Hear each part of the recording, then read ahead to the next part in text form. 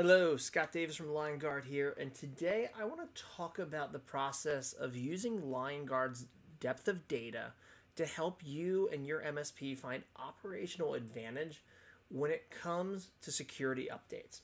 So what I mean is we can take a look here at cisa.gov, CISA.gov, and we can see August 25th, Cisco releases security updates for multiple products. So I can go into the Cisco Security Advisories page and I can see, okay, at the time of publication, vulnerability affected Cisco ASDM releases earlier than release 7.181.152. This is typically how a lot of CVEs go. It's, you know, listing the firmware versions that are impacted or vulnerable and typically then listing, you know, which version it needs to be to ensure that you are now safe and secure from it. I'm sure if I scroll down here, I can see there is some fixed versions. Uh, first fixed version release, so 7.181.152. Uh, so obviously, you know, making sure that we're running that at least 7.1 7.18.1.152 or newer to make sure that the Cisco ASA devices or the devices running the Cisco ASDM are secure. So what can we do? What can we do with Liongard?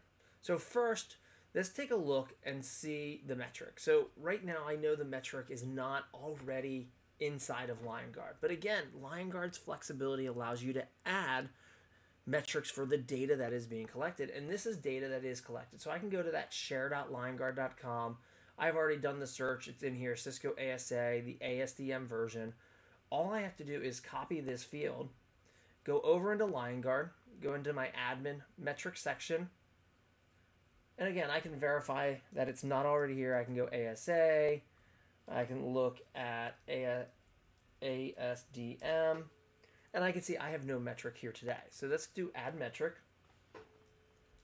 Select our Cisco ASA, ASDM version. I'm going to come down here to the data print query and I'm going to paste that field. So now I can see 7.14.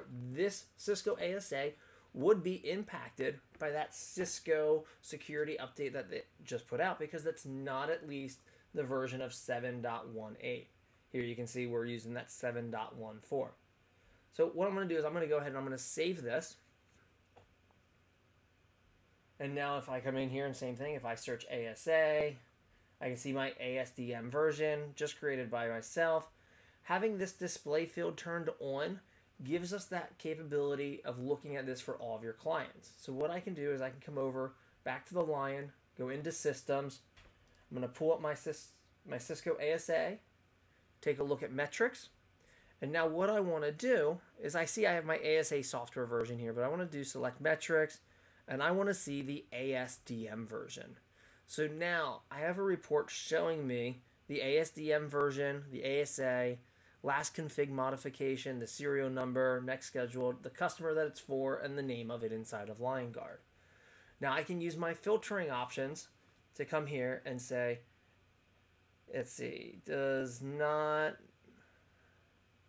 does not contain 7.18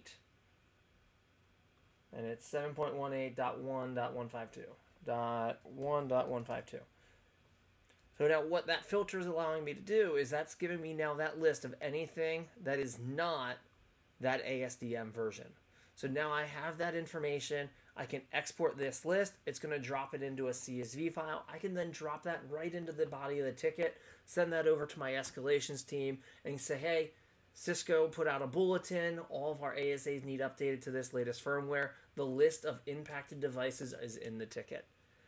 That is how you can utilize Liongard to gain that operational advantage, to do things faster, solve issues faster, and ultimately when a CVE or a firmware product comes out, knowing which devices have to be done so that your team can focus on working on it, not logging into every Cisco ASA or assuming that manual documentation is correct. So that's just another way that Liongard can help save you time and help you find that operational advantage. Thanks for watching.